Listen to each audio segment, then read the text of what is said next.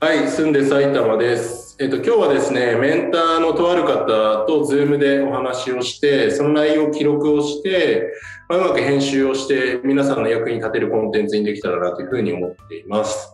で、今日のゲストは、えっと、北与野に今住まれているかりんさん、よろしくお願いします。よろしくお願いします。今ご自宅ですか？はい、自宅です。おーもうここ最近はお仕事とかも自宅からリモートで働かれることが多いんですか？あ、いえ、私はもうあの、職場がすごく近くなので、あ、そうなんでではなく、もう通いで行っています。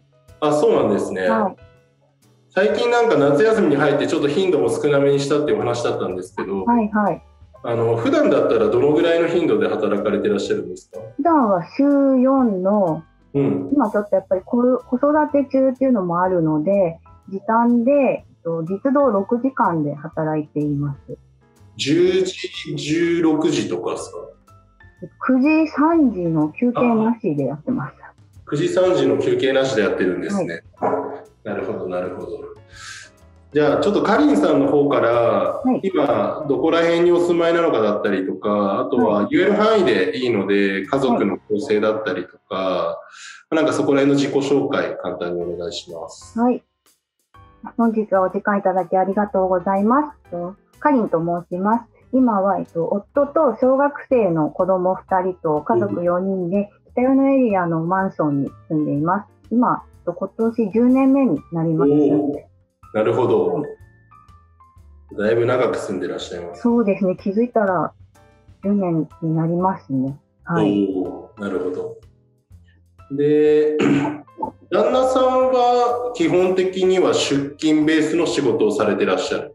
ちょっとそれが特殊でして、あえっ、と、なんだろうある、まあ、会社の研修の担当をする今部署にちょっとおりまして、えー、研修所で、あの、まあ、新卒の方たちだったりとか、中東でも、まあ、研修したりとか、もちろんずっと勤めてる方も何年経ったら何年研修とかってそういうのがあるんですけど、まあ、そういう研修を担当してトレーナーなので、あの、研修所に基本ある期間はもう泊まり込みなんですね。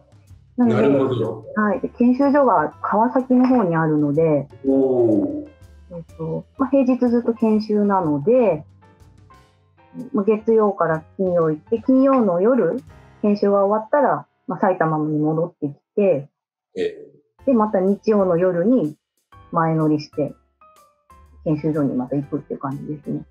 えー、なので、まあ、研修がないときは基本リモートなんですけれども、うん。何かと研修、やっぱりの研修があるので、えー、ずっと平日はいない生活ですね。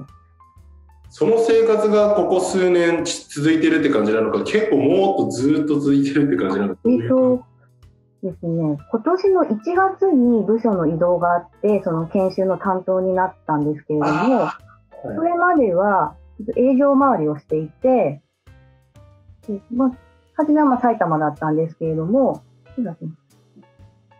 横浜に移動になって1年半ぐらいは単身赴任をしてましあ、そうなんですた。ね。はい、なので、まあ、基本、まあ、それも神奈川だったので、今と同じように週末だけ埼玉に戻ってきて、で平日はずっといないっていう生活だったんですね。なのえで、まあ、それを加えると、もう2年ぐらいはこんな感じですね。平日いないことが、ー、あ、そうなんですね。スタイルになってますね。はい。なるほど。お子さん、小学生のお子さん2人って話だったんですけど、はい生まれた当初というか最初の方に関しては、はい旦那さんも家をベースに働かれて2人で子育てされてたような感じだったんですか？そうですね。えっと、上の子が生まれた時は北与野ではなくて、その頃は中浦和に住んでまして、あそうなんですね。はい。まあ、その時はその埼玉エリアの営業を担当していたので、まあ、そんなに遠くはなかったので、まあでも帰ってきて夜しかいないんですけれども、うんまあ、まあ、普通の家庭と一緒に、まあ、家族で、まあ、主人にも手伝ってもらってという形でしたね。えーそんな感じだったんですね。はい。あとあれですよね、かりんさん、ご実家も埼玉市内ですよね、確か。そうです。実家が北浦和なので、もう子供が生まれてからは何かとお世話になって頼るようになりましたね。いいですね。はい。素晴らしい。あれ、ちなみに旦那さんはごしゅお生まれはどちらの方なんですか？夫は横浜生まれの横浜育ち。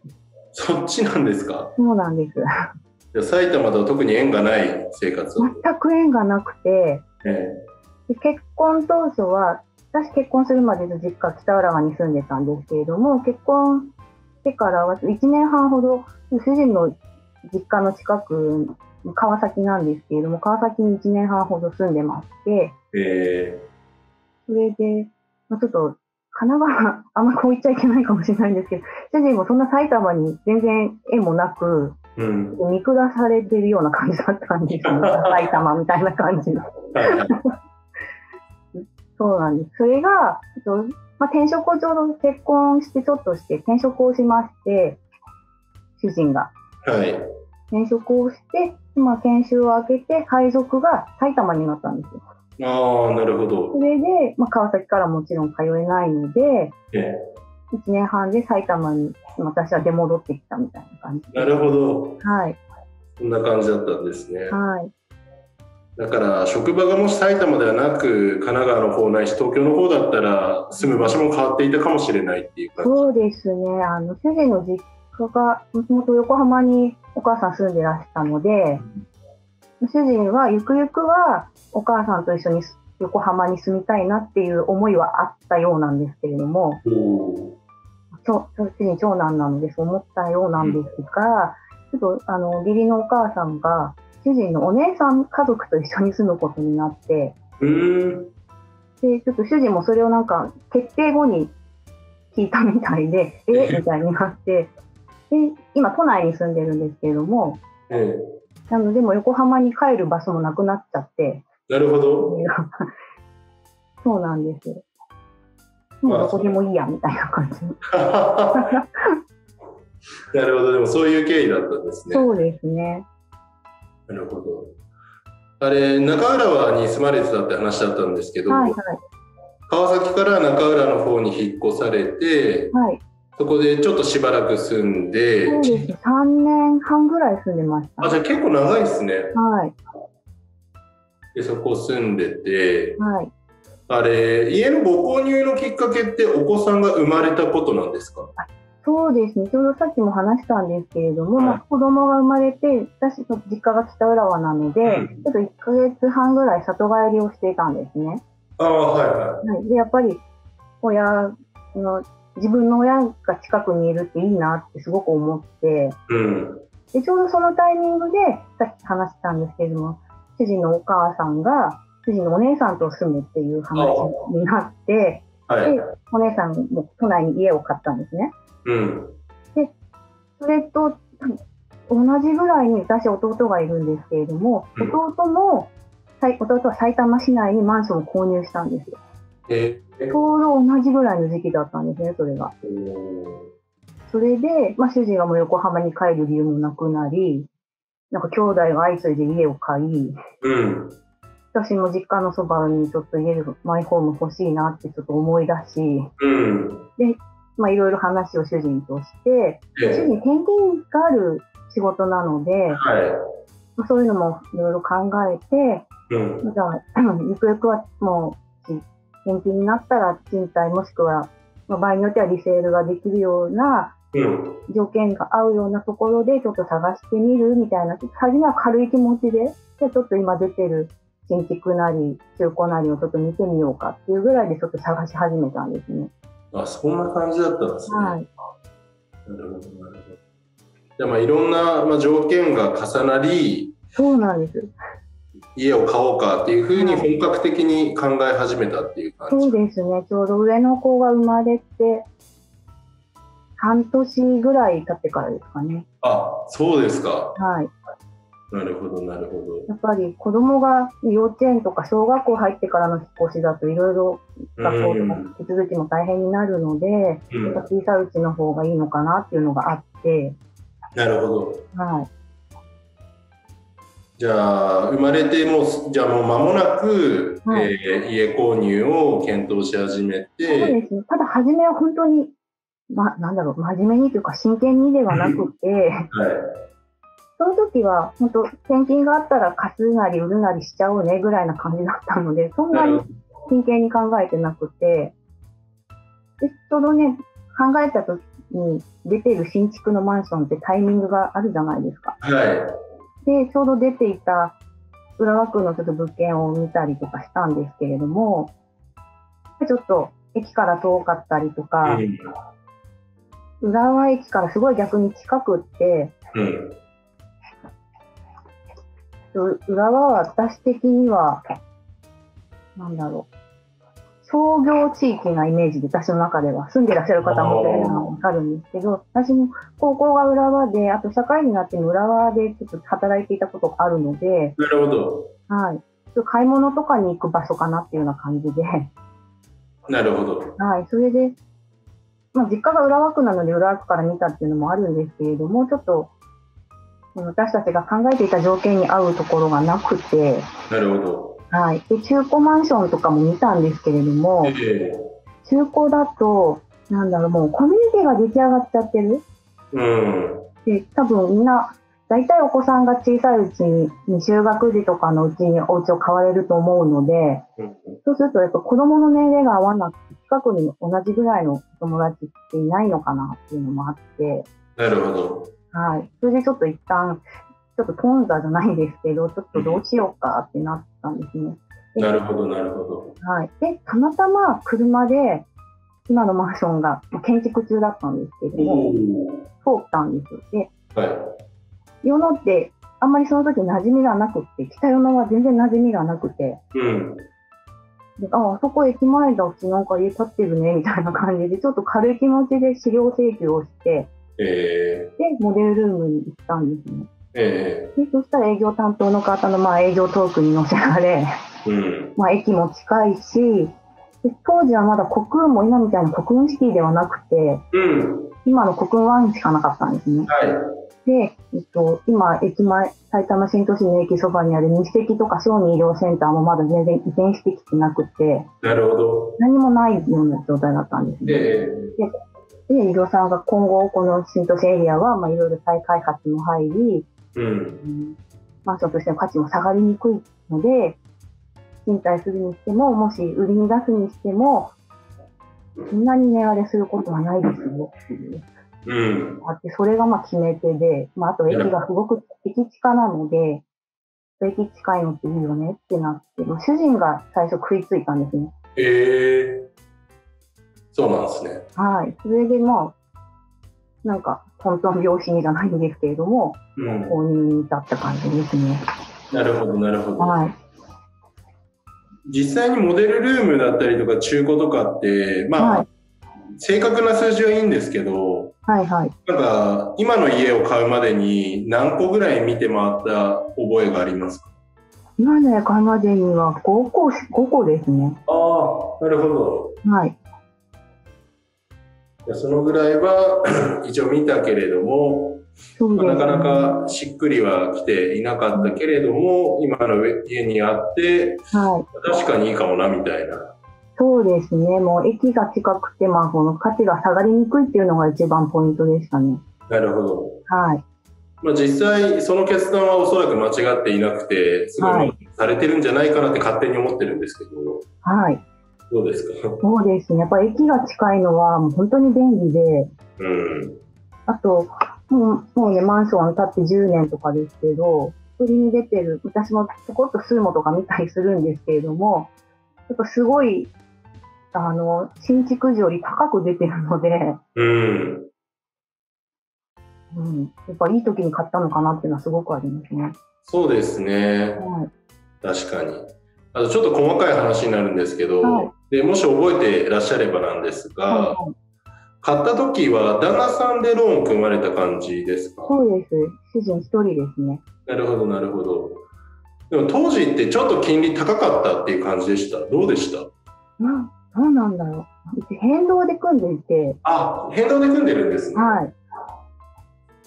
で金利も徐々に下がっていったような感じだと思いますね、そしたら。うん、そうですね。そんなに、あすごく高かったイメージもないですし、うん。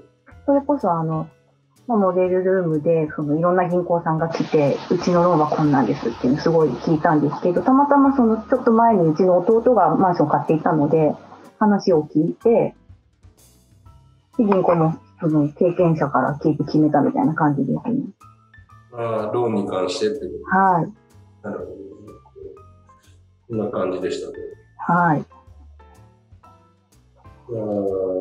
ちなみになんか、中古を避けていたわけじゃなくて、あ、そうですね。うーん、自分たちに合う物件がその時に出てこなかったって感じだったんですか？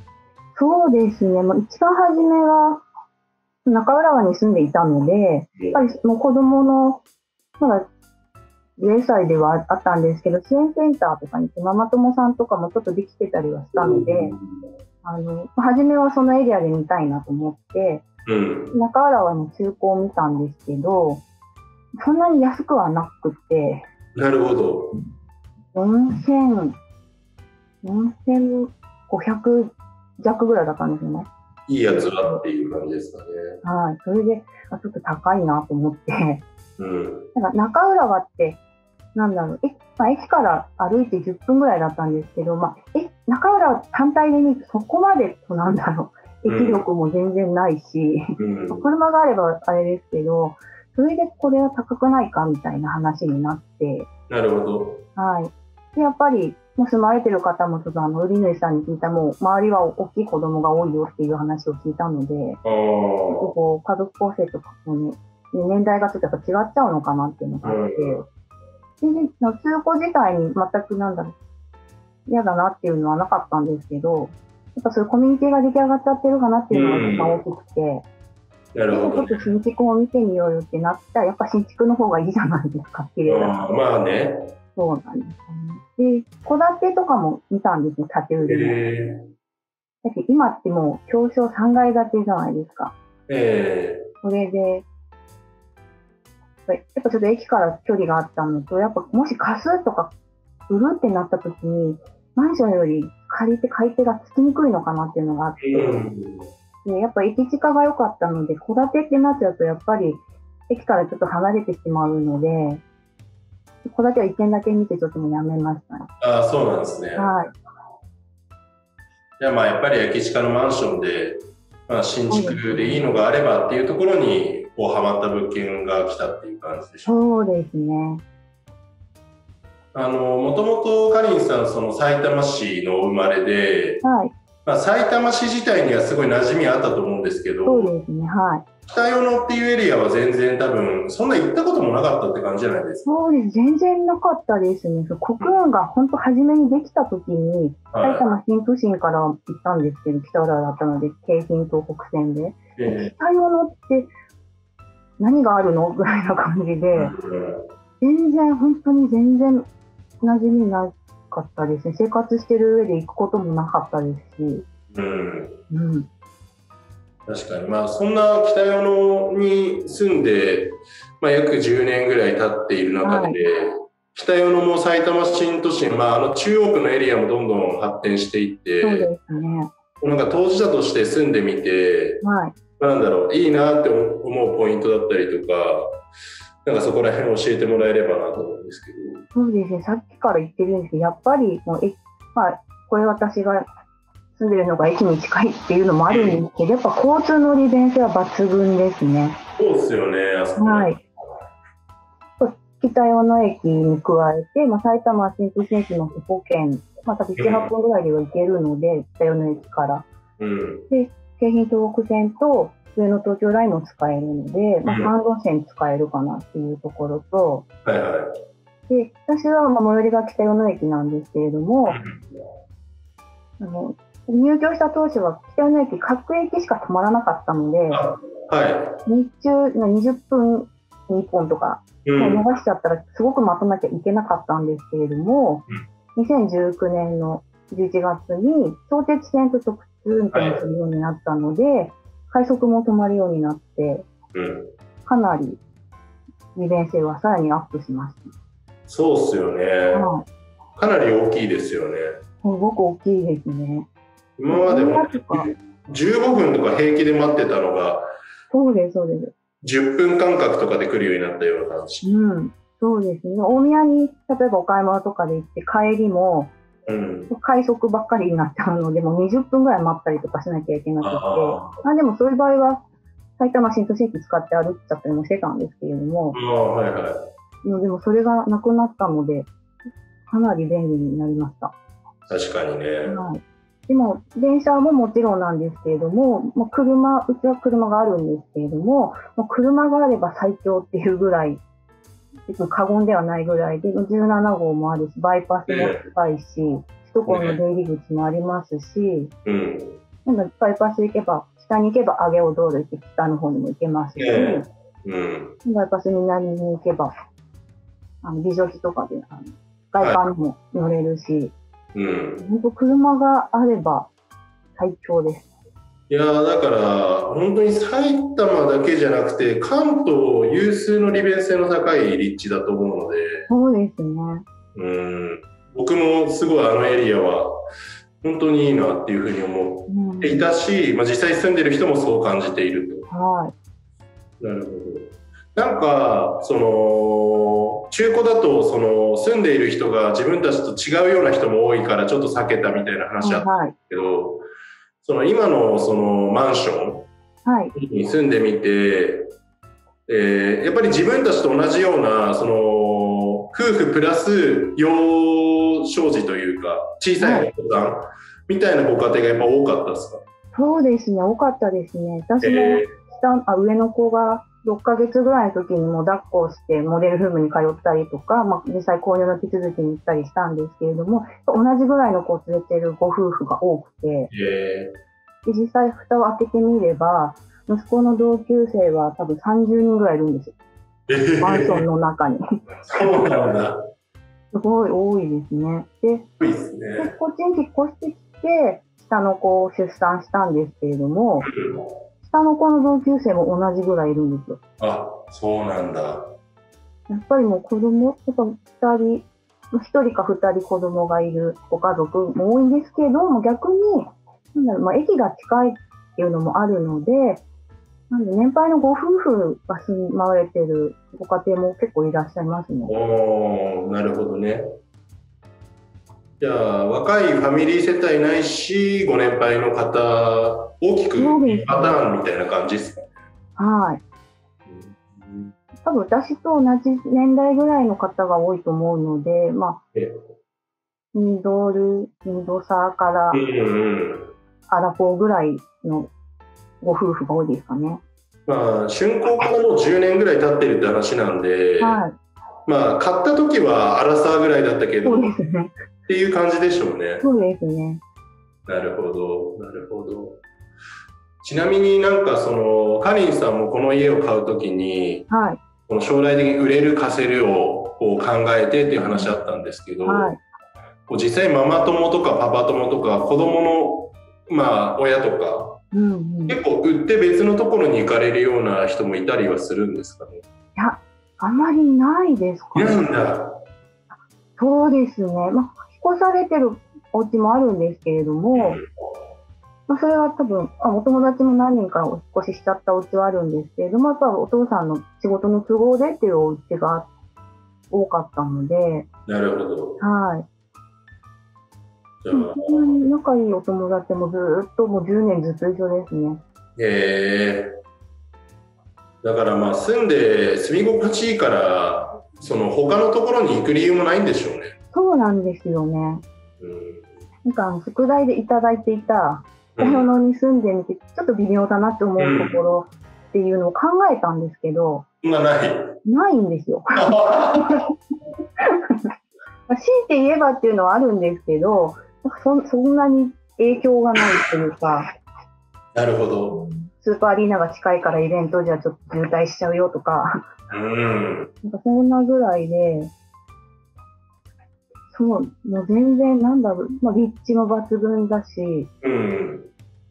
子供が大きくなってきたので、うち今うん 3LDK なんですけど、はいはねコロナ禍で主人がリモートするようにもなったりとかして、い。うん。ちょっともう一部屋あってもいいかなとはちょっと思ったりもするんですけど、まあでもね、子供大きくなっちゃったら離れ、家出てっちゃうんだろうしな、とか考えると。確かにね。うん。そこまで、そうですね、すごい微妙なとこはないんですよね。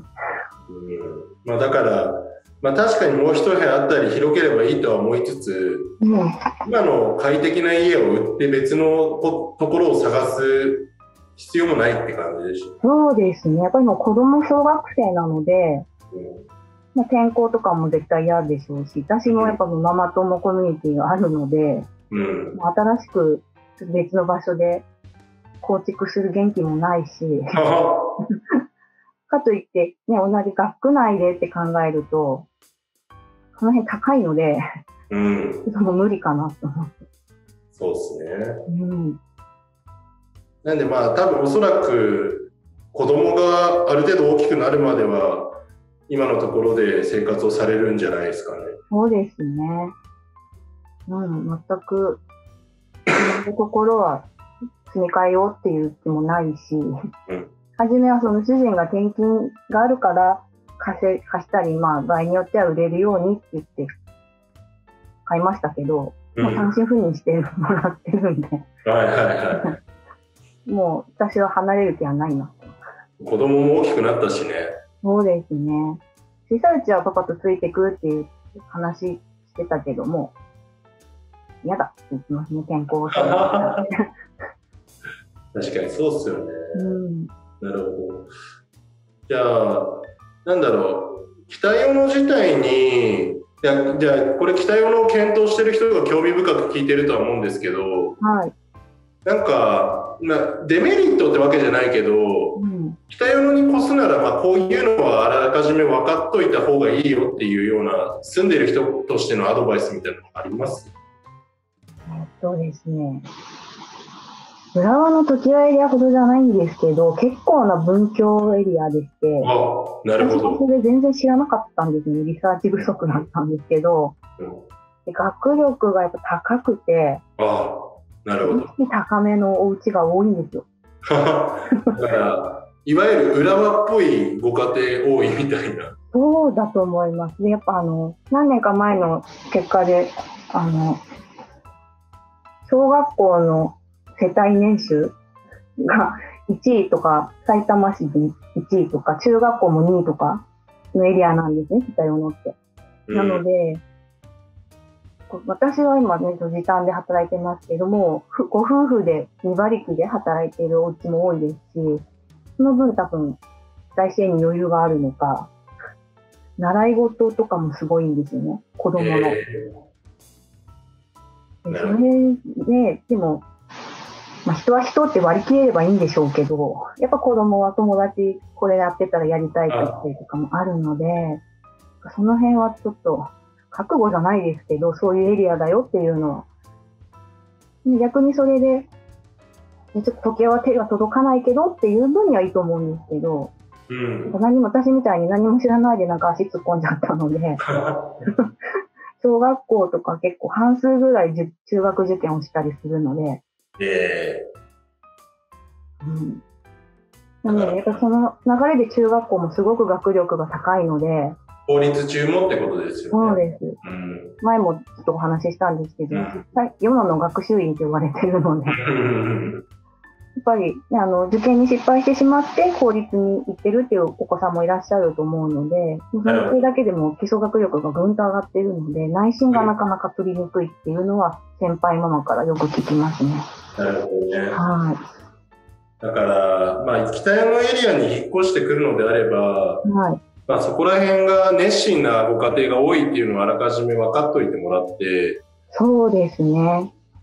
まあ、それになんか引くような人は、もしかしたら合わないかもしれない。合わないかもしれないですね。北山でも、ちょっと離れて、まあ、駅から行けないですけど、バイパスを越えたぐらいまで行っちゃえばまた違うんですけど、うん、まあ、いわゆる駅から徒歩圏内のエリアは、ちょっとそういったご家庭が多いかもしれないです。そうですね。はい。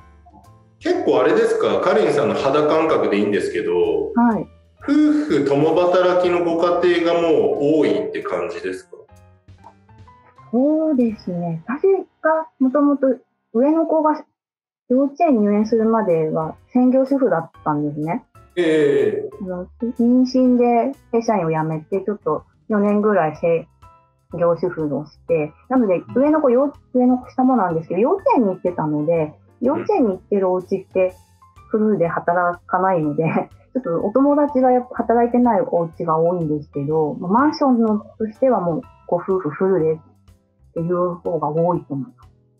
ああ、なるほどね。うん逆に全く働いてない、多分あのご主人の収入だけで十分だよっていうお家なのか、全く働いてないか、もうごご夫婦でフルで働いてるかっていう感じで、パートをしてるみたいなお家はなかなか聞かないんですよね。ああ、なるほどね。は二極化してる感じでい。すか？そそんな感じ私は印象を受けますね。なるほど、なるほど。はい。まあ僕もいろんな人の話聞くとそんな感じだろうなっていうう感じ。ん。なんか、夫婦共働きでバリバリ働いてるようなご家庭もあるとは思うんですけど、はい。なんか、まあ、二人とも東京勤務してるような夫婦もいるイメージなんです。そう、そうですね。えうん。そうですね。二人とも東京に行ってるか、ー結構あと公務員が多いかもしれないです。へえ、うん。なるほどね。はい。まあ、市役所とか、そうですね。役公所務員ととか。か。なんかそんな印象を受けましたね。子供小さい時ちょっとお話をしたママさんとか何人か聞くと。えー、なるほどね。うん今のマンション、まあ、すごい立地もいいし、はなんか、特に不満なく、こう、快適に過ごされてるんだろうなとは思うんですけど、い。はい。なんか、マンションについてはどうですか？マンションは、はい。まあそうですね。駅に近くて、えー駐車場が自走式なので、駅近で自走式っていうのはすごくいいなと思っていて、いいですね。ただ、駐車場全個分はもちろんないので、うん。8割くらいなので、お一番初めに抽選をしたので、なるほど。その時はすごく不安でした。ああ、そうか。近隣で借りるってなるとすごい高いので、この辺、やっぱなるほど。今、ううちはもう無事抽選で結構ちあのいい場所が当たったので、ななんだろう、ここがこうだったらって、まあ、もうでなんだろう、自分でこうオプションであんまりこういじれるものではなかったので、うん。実際住んでみてここがこうだったらなって思うのは、バルコニーにスロップシンクが欲しかったなとか、子供の上履き洗うのが楽だなとか、うん。あとさっきちょっと言った 3LDK じゃやっぱちょっと狭いかなってちょっと思う時もあるかなとか、うんでもそれぐらいですかね。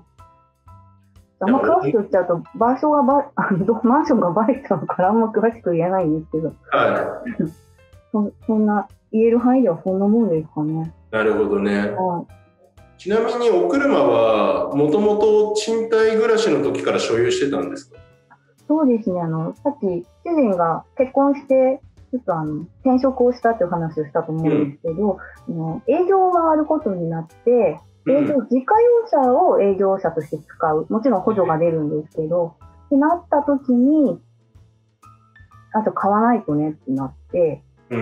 えっと中浦和にちょうど引っ越してくる直前に買ったんですね、初め。へえ買ってずっとそれを乗っていたんですけど、会社の方でなんか10万キロを超えた車はもうあの車用車として使えないから、ー。へすごいすごい10万キロ超えちゃったんですよ、3年ぐらいで。え。ああ、うんうん。だいぶ走ってますね。そうなんです。熊谷とか深谷とか日高の方まで行ってたりしたので、へえ。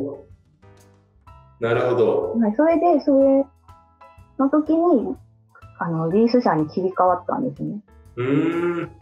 で切り替わって、それ乗ってって、もちろん休みの日は乗ってもよかったので乗ってたんですけど、こう今年の1月にあの移動になったので、営業ではなくなったので、もうリース車返さなきゃいけなくなっちゃって、あで、どうしようってなって、でうちのマンション、カーシェアがついてるんですね、2台。住民専用の。うんうん。なんで、まあ、それ、それでもいいかなとかいろいろ考えたんですけど、やっぱり今まで車がある生活をしていたので、で利便性をすごくもう知っているので、好きな時に乗れないのは困ると思って。今年に入って中古車を購入しました。あ、そうだったんですね。はいなるほど、なるほど。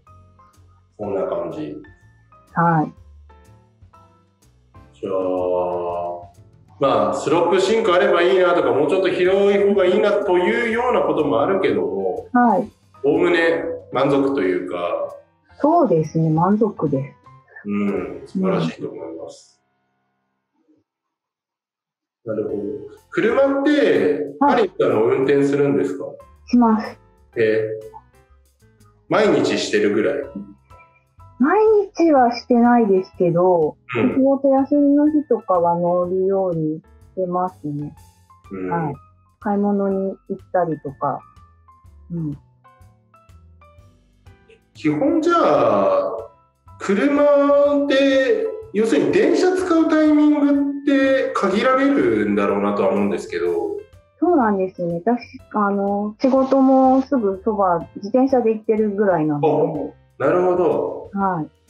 で、大宮駅の方に用があっても、やっぱ自転車で北野からのは全然行けてしまうし、確かに近いな。なんなら歩いても20分ちょっとで行けるのそうでで、すよね。晴れてたらね。そうなんですよ。うんなので、本当に電車、駅近がいいってすごい言ってた割に使わなくって。うん旦那さんはでも使うんですよね。そうですね。まあ今、移動になってからは使うので、うん、やっぱ駅近でよかったかなって思いそうまね。ですすね。あと子供が大きくなったら、習い事とか通学とかで使うでしょうし。うん、そうですね。うんいや駅にから地下に越したこと本当ないと思いますよ。あ本当にそう思いますね。実家も駅から歩けるんですけど、12分ぐらいだったので、はいちょっと、ちょっと遠いかなっていうで、でも、北山の駅近の割に、全然、なんだろう、繁華街とかがあるような大きな駅ではないので、すごく静かですし、うんうん。うん、確かに。そう、駅近だけどすごく静かで、環境はすごいいいなと思いまそうですね。す。はい。あそこら辺なんか、車の交通量多いイメージはありますけど、そうですね。音とかはそんな気にならないですか？家にいる分には全く気にならないですね。ああ、うんなるほど。じゃあいいっすね。ここ聞きたいのが、ちなみにそのお子さんはですね、はい。もうさっき小学校のはい半数近くが中学受験するんじゃないかみたいな。話ありましたけど、はい。もう、もう半分超えるぐらいの勢いですか？どうなんだろう。なんか一時期は7割ぐらいっていう話を聞いたことはあそるんですけど、マジ？その時の校長先生が、なんかすごく熱心な校長先生だったらしくて、7割ぐらいしてた時期もあったっていうのは、まあ、全然子供がまだ幼稚園の時とかなんで、あんまり全然関係なかったんですけど、そういう話は聞いて、今もでも、どうだろう。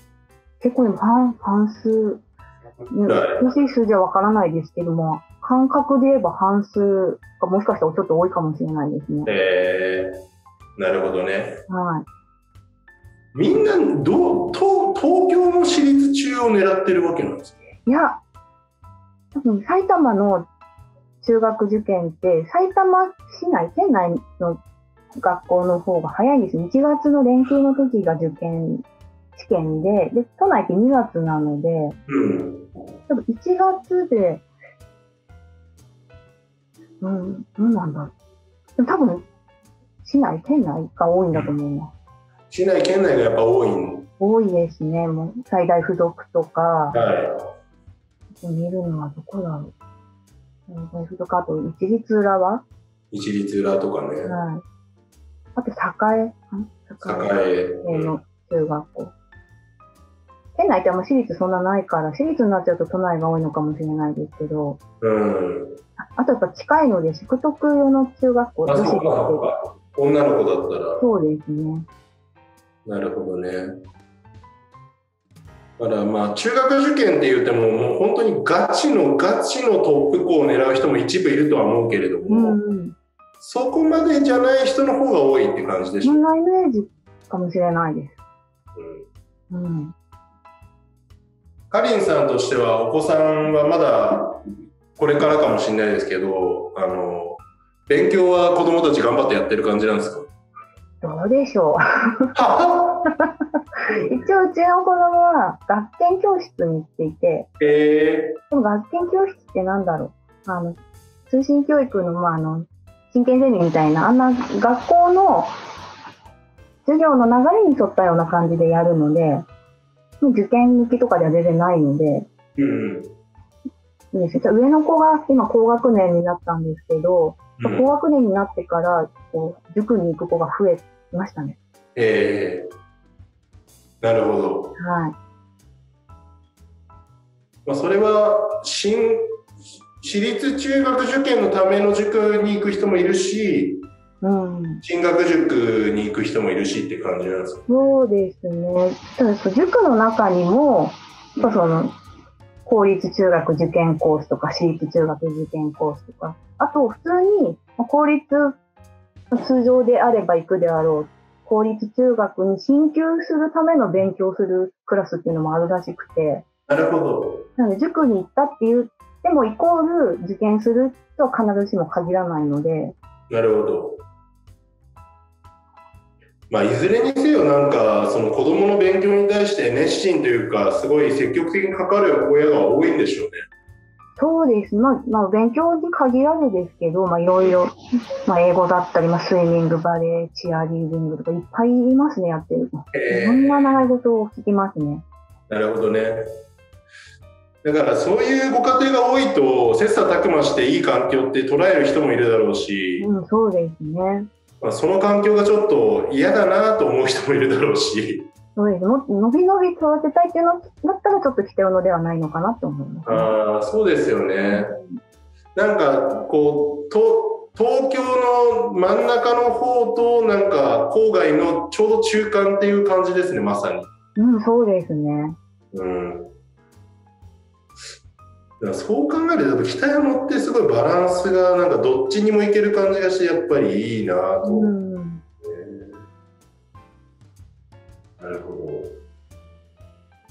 それ以外なんかかりんさんの方から、あ、ここの部分もう少し話したいとか、なんかテーマとかあったりします？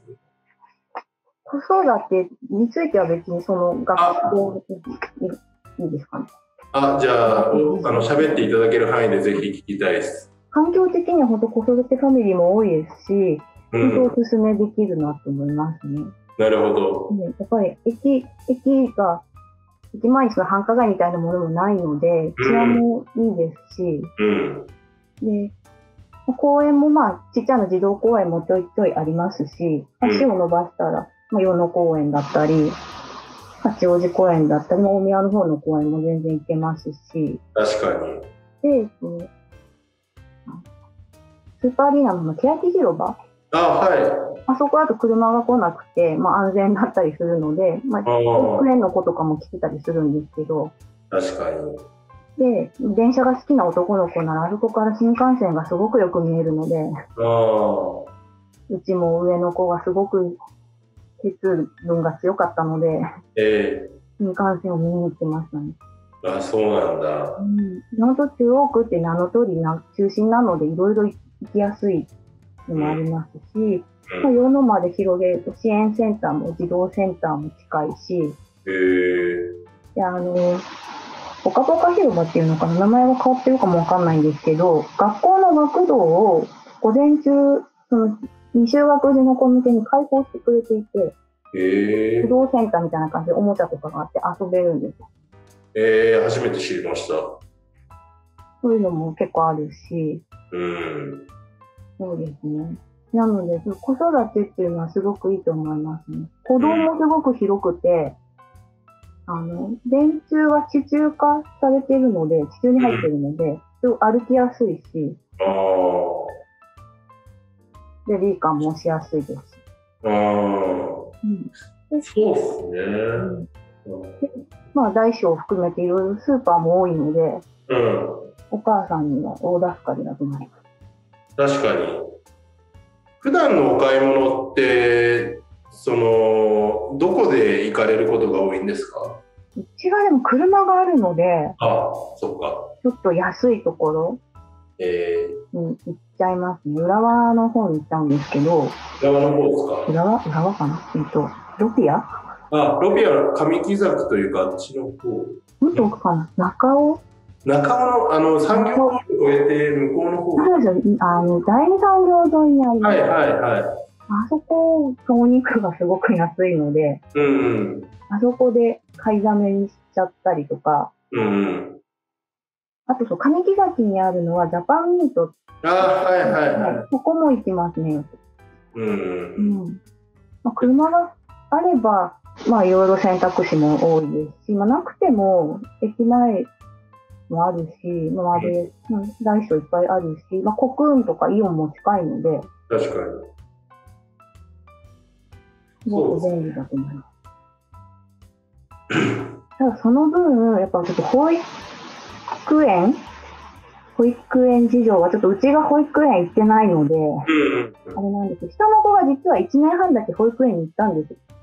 え私、上の子と下の子って2学年差なんですけど、ー、うんうん。上の子が年少さんの夏から働きに出だしたんですね。またパートなんですけど。えー、なので、下がその時1歳半だったので、え保育園に入れなきゃと思って、いろいろちょっと区役所に聞きに行ったりとかしたんですけど、ー、はいはやっぱりあのフルで働いてるお母さんが多いので、もう0歳児1歳児はもう無理って言われて、い。あもうちょっと6年ぐらい前のあれなので、状況変わってるかもしれないですけど、ただ認可外にうちは入れてたので、ー、うーん。で今あの3歳までの小規模園っていうのが増えてるので、3 3歳まではそっちに入れて、うんその後、延長保育のある幼稚園に転園させるとか、そういう話はよく聞きますね。なるほど、なるほど。でやっぱ中央区なので、いろんなエリアからの幼稚園の場合なんですけど、幼稚園バスも走行しているので、選択肢はすごく多いです。だから、まあ、もしかしたら認可保育園で0歳、1歳児には難易度高いけれども、それ以外の選択肢であれば、あの、いろいろあるだろうし、そうですね。ただ、多分私の子よりは保育園も新しいの増えてるので、なるほど。はい、もうちょっと、まあ、ねちょっとそんなスムーズにではないとは思うんですけど、うん、諦めるほどではないと思います。なるほど。タイミングには言ってしまうんですけど。うん、うんう。んありがとうございます。そうですね。まあ、この動画でなんか全部喋り伝える必要はないんですけど、うんうんかりんさんの方からなんか、もう、もう少しトピックがもしあれば。まあ、でも結構いろいろ聞けたとは思ってるんですけど。出るのがあんまり得意じゃないので、いえいえいえ。でもすごい参考になると思います、こういう話。私ちょっと他のね、メンターさんとかと比べちゃうと、ちょっとやっぱお家を買った時期もちょっと、はい、なんだろう、違うし、マンション事情とかもあんまり詳しくないんですけああ、それど、は全然。ただ10年住んでいろいろその経験はあるので、ママ友ネットワークでいろんな話も聞け。何かあれば、そうですね、はいあの概要欄にかりんさんの、えー、とリンクも貼っておくので、まあもしこれの話を聞いてね、まあ、実は多分かりんさん今住まれているマンションを私買うの検討してるんですけどみたいな人もいるかもしれないんで、そうですね。うんまあ、もし相談があれば言ってみてください。他なんか聞きたいことなどあればコメント欄にいただければと思いますので、よろしくお願いします。では、かりんさん、今日はありがとうございました。あはい、ありがとうございました。りがとうございました。